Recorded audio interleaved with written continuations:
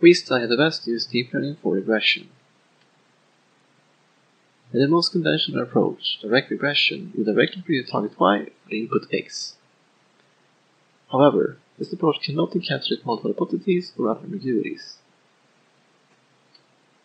This issue is addressed by the approach of confidence-based regression. You predict a scalar confidence value f for each x-y pair, and then maximus f respect to y to get the final prediction.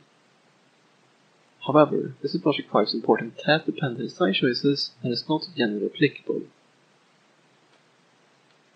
We address these issues by employing energy-based models with a probabilistic formulation.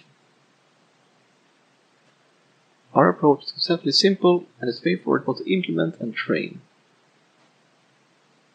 Our approach is also directly applicable to a wide range of regression problems, yet significantly outperforms the state-of-the-art confidence-based methods in direct comparisons.